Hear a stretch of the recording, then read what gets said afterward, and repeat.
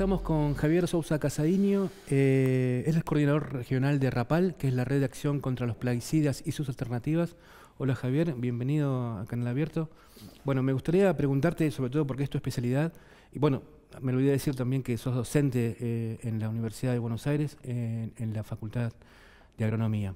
Eh, me gustaría preguntarte, y sobre todo en este, en, este, en este ámbito de Canal Abierto, que nos cuentes ¿Cuál es la situación de, los plaguicidas en, Argentina? Hoy, bueno. O sea, eh, teniendo en cuenta un poco este marco, digamos, ¿no? El marco es el marco político en el que estamos viviendo también en relación a que a que este gobierno ha liberado de alguna manera este, y ha impulsado eh, muchísimo eh, la actividad de, la, agroindustria. Sí, asistimos desde hace ya por lo menos los últimos 20, 25 años a un incremento eh, en principio paulatino, después exacerbado el uso de plaguicidas. Y lo que se está viendo en los últimos años, fundamentalmente en los últimos tres años, es también un aumento muy grande en, el uso de algunas formulaciones de, agroquímicos, como por ejemplo los herbicidas, se llaman así, ¿no? Herbicidas no selectivos, como por ejemplo, en este caso, eh, dos de los fundamentales, el glifosato y el paraquat. Eh, se, está viendo en la mayoría de las actividades, vos nos contabas, fundamentalmente en aquellas que están relacionadas con la exportación, hablamos de la soja, el maíz y el trigo, eh, a partir de la quita de retenciones, obviamente se, amplía en muchos casos, en el trigo y en el maíz esto es claro, eh, la superficie de siembra, en muchos casos eh, lo que estamos viendo es en función de, parece paradójico, ¿no? Un uso exacerbado de los plaguicidas en, esta espiral de generación de resistencia hacen que se demanden cada vez más plaguicidas. Eh, entonces estamos en un momento eh, de, este proceso bastante crítico en torno a, la utilización de plaguicidas, cerca de 400 millones de litros por año. Pensemos que en el año 93 se usaban 30 millones de litros por año, estamos hablando en 25 años de 30 millones a 400 millones y estamos pensando en, muchos plaguicidas extremadamente tóxicos. ¿no? voy a dar un dato, porque siempre escuchamos hablar de glifosato ¿no? como el producto eh, estrella o el producto que más se usa en Argentina, y esto es cierto, pero está avanzando la utilización de otro producto que se llama Paraquat, un producto muy utilizado en Centroamérica, muy utilizado eh, en otros países y no tanto en Argentina, pero fíjate, en los últimos 10 años viene aumentando de a un millón de litros por año. Hace 10 años estábamos en cerca de, un millón de litros, un millón cien mil litros de paracual por año y hoy estamos cerca de los 9,5 millones de litros. Estamos hablando de un aumento eh, de un millón por año. Y esto tiene que ver fundamentalmente con la ampliación de la frontera agraria, pero fundamentalmente con la aparición de plantas resistentes al glifosato.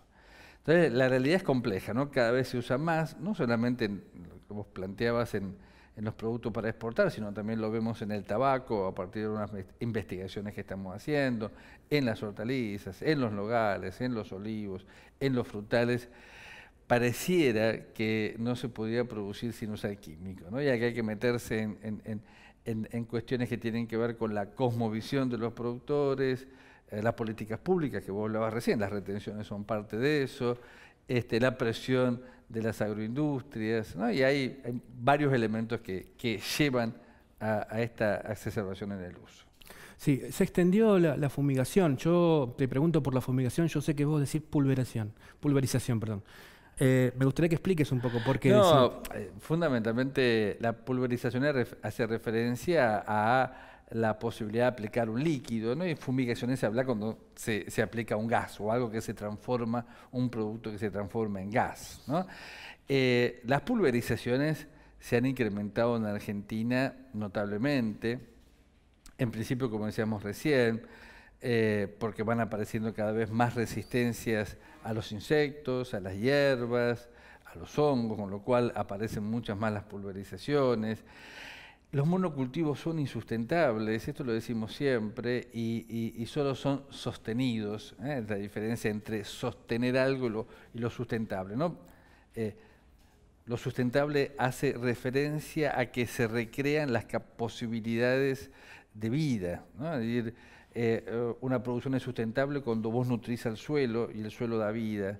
Una producción es sustentable cuando hay diversidad y esa diversidad hace interacciones entre insectos, plantas, plantas silvestres y se va generando algo sustentable. Lo sostenible es aporte continuo de algo que sostiene la producción, por ejemplo, los agroquímicos. ¿no? Entonces vemos en Argentina y en el mundo una producción que es sostenida en base a insumos externos y no que recrea las condiciones de existencia.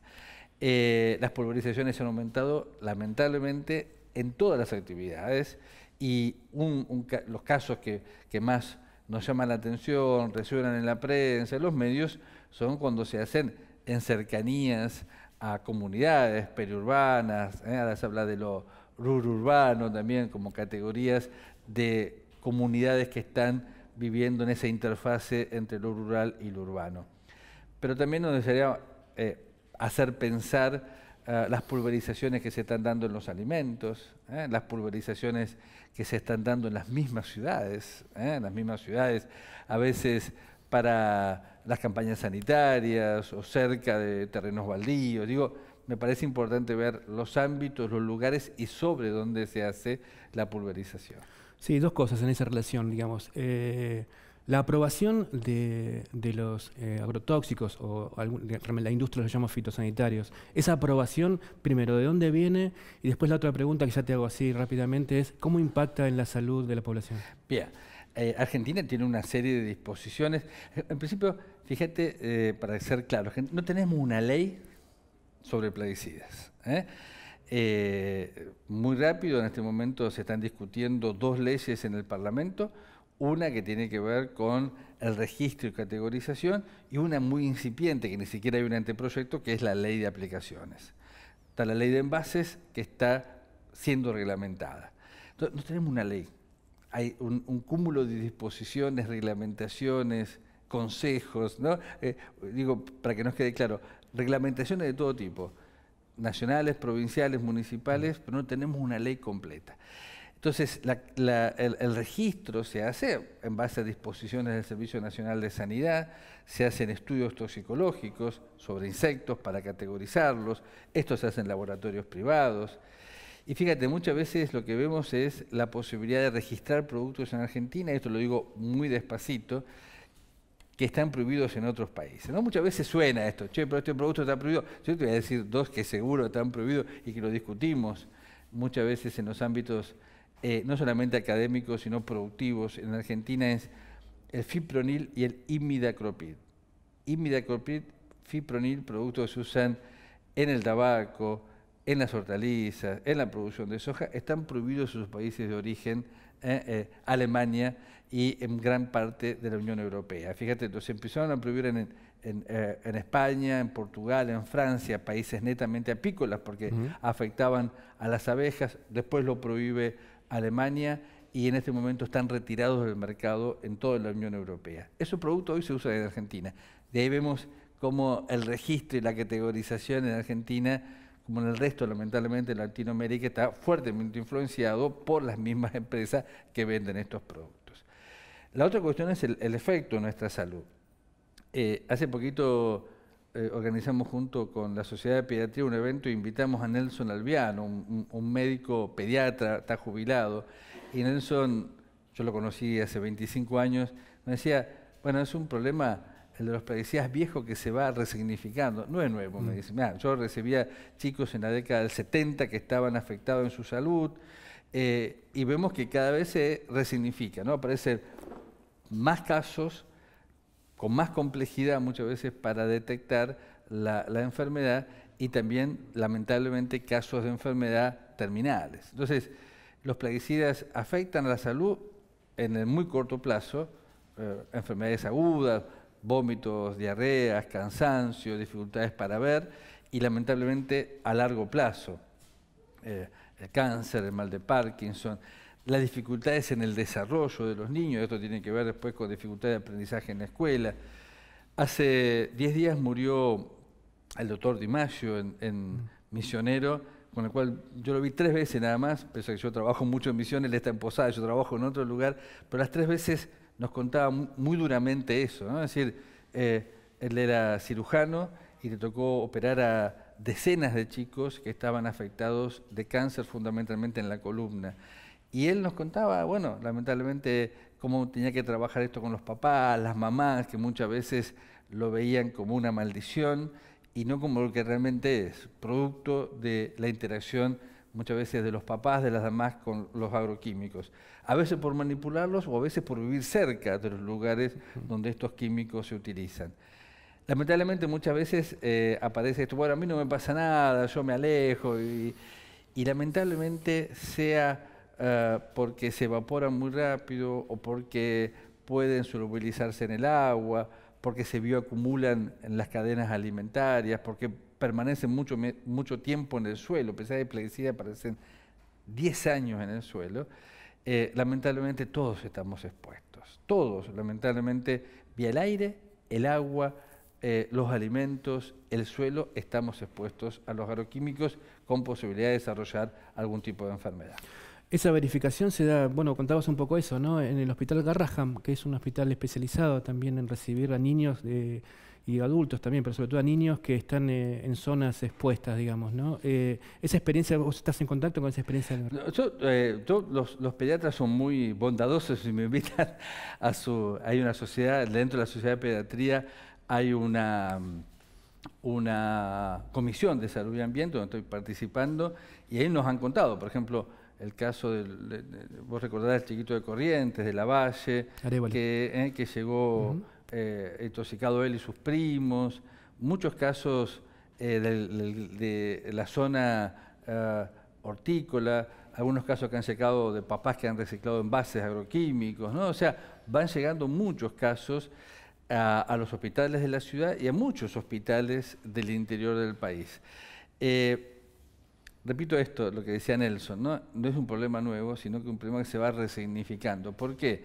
Porque el problema está en la aplicación, decíamos recién, en los envases. ¿no? Dos niñas llegan al, al hospital Garrahan porque el papá reciclaba envases agroquímicos para fabricar bolsitas de plástico para después vender en los supermercados. Ahí de vuelta nos lleva a pensar la exposición, ¿no? porque esa bolsita eh, tendría alguna traza ¿no? y la gente puede poner el pan. ¿no? Entonces, me parece interesante reflexionar esto de, que es un problema viejo y que se resignifica y que tenemos que eh, atacarlo. Cuando digo atacarlo, con todas las herramientas posibles. ¿no? Primero, reconocer que tenemos un problema grave en Argentina. Decíamos antes 400 millones de litros, se usaban hace 25 años 30 millones, y ella te marca un problema. Si usabas 30 y ahora usas 400 millones, y la superficie agrícola no se expandió más del 20%, ahí tenés un problema. O sea, el número te dice, algo pasa para que vos necesites usar tantos agroquímicos y cada vez más tóxicos porque los insectos se vuelven resistentes, ahí tenés un problema.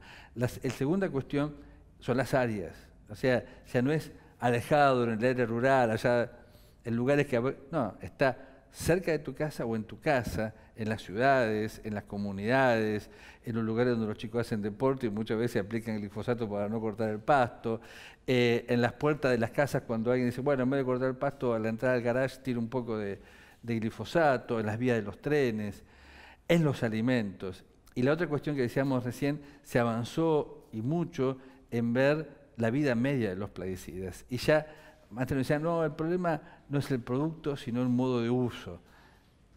Más allá de cualquier modo de uso que hagas, si los plaguicidas se bioacumulan, se expanden por el aire, por el agua, más allá de que quieras usarlo en las mejores condiciones, no podés dominar todas las variables, con lo cual no solamente es el producto, sino que mm. también la bioutilización y dónde lo utilizamos el problema. Totalmente, sí, los, productores y los aplicadores e incluso la industria sobre todo, ¿no? y las corporaciones hablan de estas buenas prácticas, nosotros sabemos que... Claro, yo eh, dos o tres reflexiones para que, para que podamos pensar juntos.